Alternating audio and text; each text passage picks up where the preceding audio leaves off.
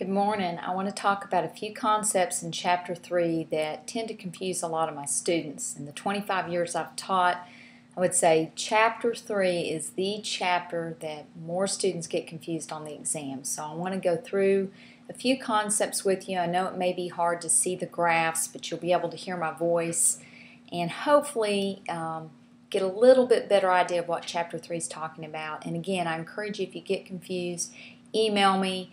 Uh, let me know. I'll try to help you any way I can to make it easier for you. I know many of you are working and you're trying to get your degree, and I'm paid to help you, and I want to do that. So if you're still confused, you just shoot me an email and say, I am still totally lost, and I will try any way I can to help you.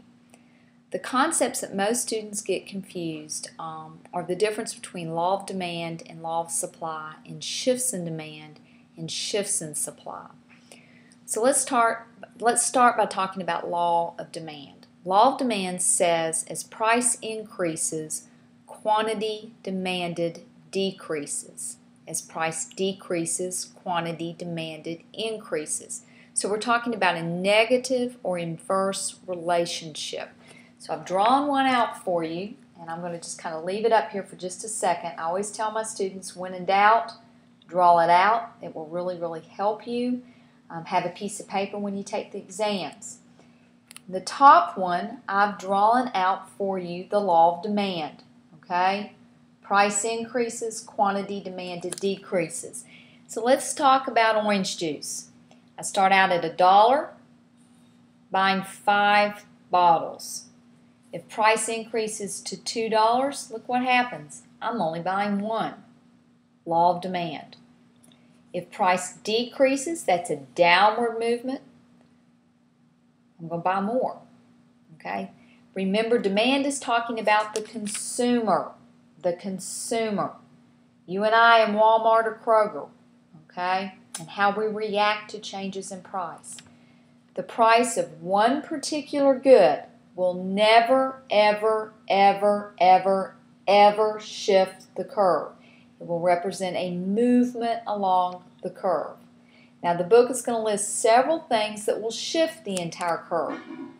Increase is a rightward shift. Some books call it an outward or an upward. A decrease in demand is going to be a leftward, inward, downward movement back towards zero. Some of these are going to be tastes and preferences, income, um, expectations of consumers. For example, if I think the price of Mac computers are going to be 50% off at Christmas, I'm not going to demand a Mac today. I'm going to wait. So demand right now would decrease. Demand at Christmas would increase. Substitute goods and complementary goods. These are all things that will shift the curve. All right, supply curve is going to be the opposite. Let me show you that one. Okay?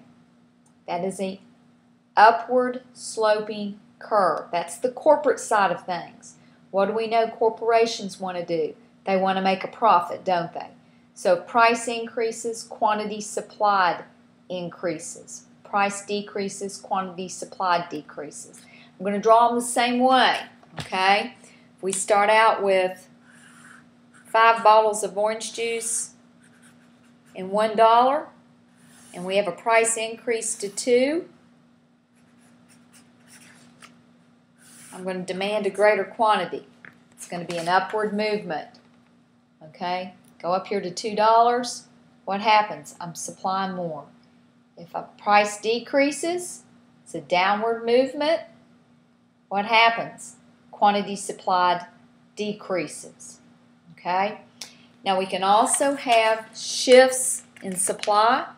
Some of the factors that shift supply are going to be taxes, input costs, in other words, the raw materials that you use. Um, let's say you make Captain Crunch cereal, and sugar is a huge input. Um, or your Pepsi, and you make Mountain Dew, and there's about 40 teaspoons of sugar in that. Um, and the price of sugar triples. I might not supply as much right now. I may pull back and see if the market or commodity prices will settle. So how do I draw that? Well, it's the same idea except we're going to have that upward sloping supply curve. If I have an increase in supply, It's a rightward shift out towards a greater Q. Okay? If I have a decrease in supply, it's a leftward shift back towards my origin of zero. Okay? For example, if the government decided to decrease corporate taxes, in other words, make corporations want to grow, maybe hire more people in this tight economy, if they cut my taxes back, I might increase supply. I might produce more. I might expand my business. Okay? If they raised my taxes, I would shift my supply curve inward. I would decrease for a while, maybe hold off and see what was going to happen in all the politics going on right now. So again, these are the concepts that gonna, are really going to kind of confuse you a lot. The practice quiz questions in the book are very good, and I've assigned some homework questions. If you get confused on them, please let me know. I can't help you unless I know that you're confused. Take care, and the next lecture is going to be on price ceilings and price floors. It's a little bit shorter, um, but I think you'll understand this concept a little easier. Take care and have a good day.